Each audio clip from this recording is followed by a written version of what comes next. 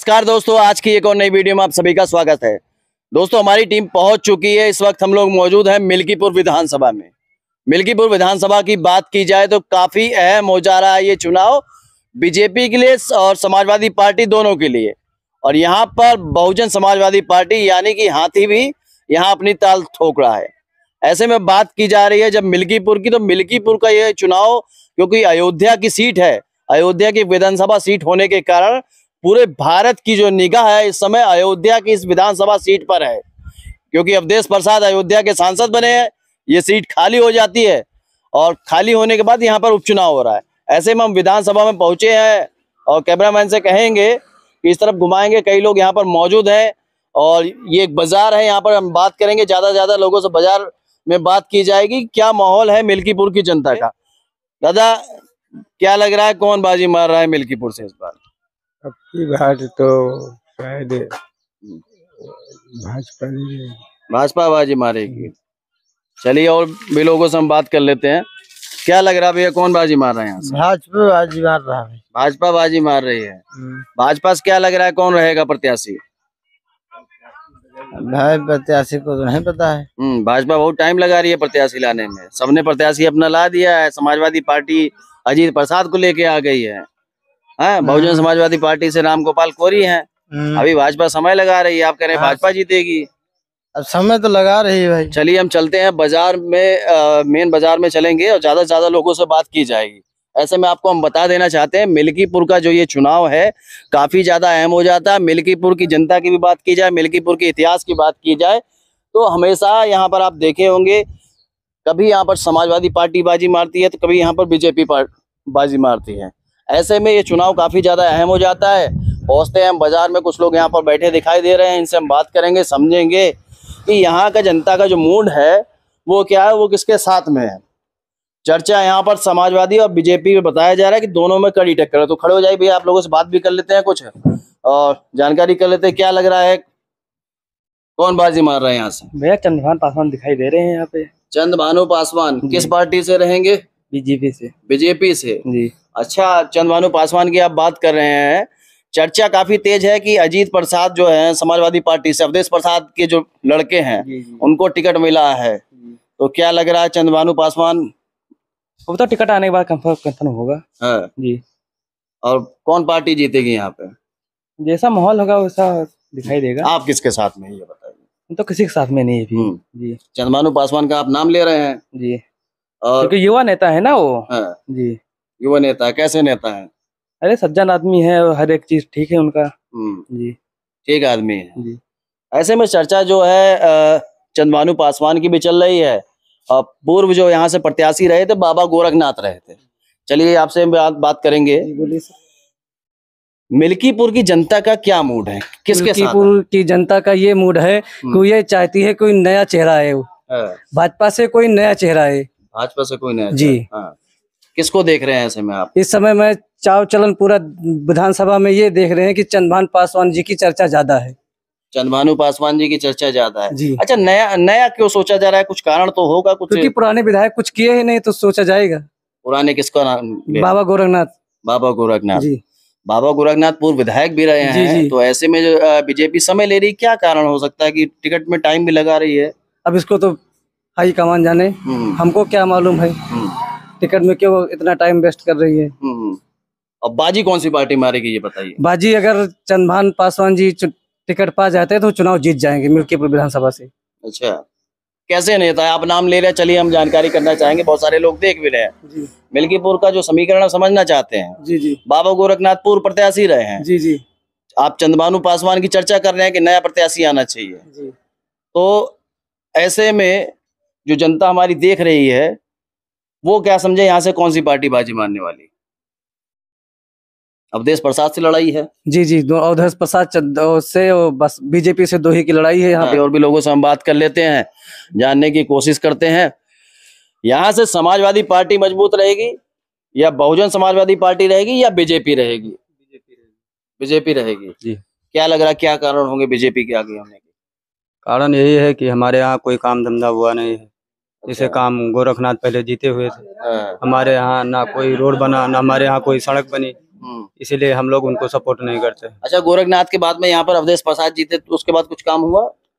वहाँ हमारे यहाँ भी ज़्यादा काम नहीं हुआ ग्राम जयराजपुर में। हम्म, कोई खास काम नहीं हुआ है। हम्म। लेकिन फ़िलहाल कुछ हुआ है ज़्यादा नहीं हुआ। तो हुआ। ऐसे में किसको मौका देंगे? पासवान को। चंद्रभानु पासवान को? जी। अच्छा। चंद्रभानु पासवान आसपास के ही हैं? क्या कारण है? कि किस वजह से आप उनको कह रहे हैं? इसलिए क्योंकि कि हमारे यहाँ की सबसे ज़्यादा चर्चा उन्हीं का है। अच्छा चर्चा ज़्यादा है। तो ऐसे में कुछ लोग ये भी बता रहे हैं कि चंद्रभानु पासवान की यहाँ चर्चा ज़्यादा है। और हालाँकि आप ये भी नहीं कह सकते कि बाबा गोरखनाथ यहाँ से पूर्व विधायक रहे हैं।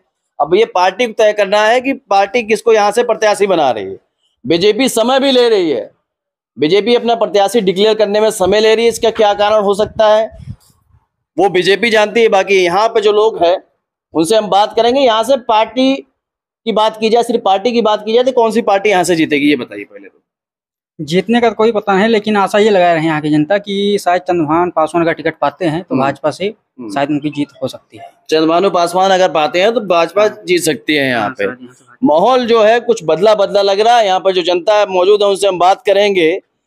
और समीकरण जो है मिल्कीपुर की जनता के हम पहले बता देते हैं आपको, मिल्कीपुर की ये जनता है, कई बार समीकरण बदल चुकी है। एक बार यहाँ से अवधेश प्रसाद विधायक रहे थे, उसके बाद पाँच साल बाद जब चुनाव होता है तो अवधेश प्रसाद जो कि मंत्री भी रहे हैं, उनको हरा के बाबा गोलकनाथ यहाँ से विधायक बने। फिर उसके बाद पाँच साल बाद जब चुनाव हुआ, यहीं की जनता ने बाबा गोरखनाथ को हरा के फिर अवधेश प्रसाद को जिताया। तो यहाँ की जनता खेला भी करती रहती है। चलिए यहाँ की जनता से ही बात करेंगे। दादा, आप कई चुनाव भी देखे होंगे। कई सारे चुनाव वोट किए हैं। क्या लग रहा है कौन बाजी मार रहा है कौन मज़बूत है मिल्कीपुर में?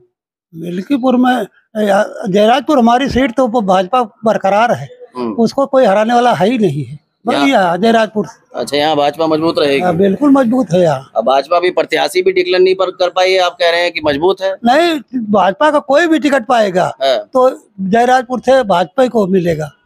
यहाँ से भाजपा जिताते हैं आप लोग। हाँ बिल्कुल पक्का है इसका। अवधेश प्रसाद भी सुन रहे होंगे। वो खुद कोई सुने? हाँ। और जयराजपुर एक भाजपा का गढ़ है। हाँ। हाँ। लोग बता रहे हैं मिल्कीपुर अवधेश प्रसाद का गढ़ है। अरे तो बाकी और हम नहीं बता रहे हम अपने जयराजपुर पोलिंग की बात कर इस बार कौन जीतेगा मिल्कीपुर से? भैया अभी प्रत्याशी ही नहीं हम किसको कह दे? हाँ, प्रत्याशी कोई पता आपके हिसाब से कौन जीतना चाहिए हाँ? इसमें अगर गोरखनाथ के अलावा बदलाव होगा हाँ।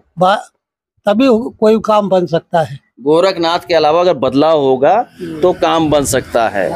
ऐसे में मिल्कीपुर की जनता है और जनता किस तरीके से अलग अलग मांग कर रही है प्रत्याशी को लेकर भी मांग कर रही है प्रत्याशी को बदलाव को लेकर भी मांग कर रही है। और गोरखनाथ पूर्व विधायक भी रहे हैं। क्या लग रहा है कौन बाजी मारेगा पहले तो ये बताइए यहाँ से।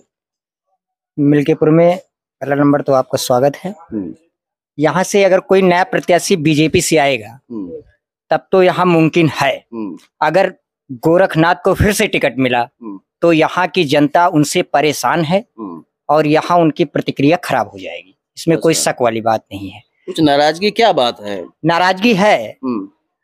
अब उनके प्रति हम ज़्यादा कुछ नहीं बोलना चाहते हैं। हाँ, बस इतना जानते हैं कि अगर कोई नया कैंडिडेट जैसे कि चंद्रभान पासवान हाँ, जी क्षेत्र में भ्रमण पे निकलते हैं सब लोगों से मुलाकात करते हैं हम्म। हालचाल लेते हैं तो जनता के बीच में जो रहेगा हम्म। जनता उसी को चुनेगी। मेरा सीधा कहना है। मिल्कीपुर की जनता के बीच में जो रहेगा जनता उसी की सुनेगी चलिए एक सवाल फिर हम कर ही लेते हैं। बाबा गोरखनाथ पूर्व विधायक रहे हैं तो क्या जनता के बीच में नहीं रहे? अब यहाँ तो हम नहीं जानते हैं। बाकी वो जहाँ रहे हों वो जानते होंगे। हाँ, बाकी यहाँ जब वो कभी आए नहीं अच्छा। किसी से मुलाकात समाजवादी पार्टी कह रही है हम पचास हज़ार वोटों जीत रहे हैं अवधेश प्रसाद कह रहे हैं हम पचास हज़ार से जीत रहे हैं। क्या पचास हज़ार नहीं हम्म। वो अब की इस तरीके से यहाँ से चले जाएँगे हम्म, कि जैसे कोई दुनिया से चला जाता है हम्म, समाजवादी पार्टी का नाम मिल्कीपुर दो से मिट जाएगा।